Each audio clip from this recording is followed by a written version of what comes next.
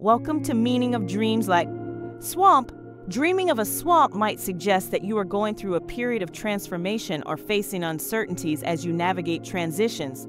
Swamps can be murky and challenging to navigate, which might reflect feelings of confusion, emotional turmoil, or being stuck in a difficult situation. These are areas reflecting negative thoughts, memories, or ideas that are stagnant. Stagnation is defined simply as a state of not flowing, yet our imagination thinks of unpleasant, marshy qualities of death and decay. Perhaps we are looking at the situation from too narrow a perspective. A symbol to keep things moving, possibly connecting it to the emotional side of the dreamer. Thanks for tuning in. Ready to dive even deeper into the mysteries of your dreams?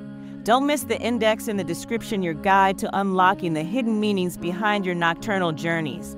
Stay curious and see you in the next video for more dream discoveries.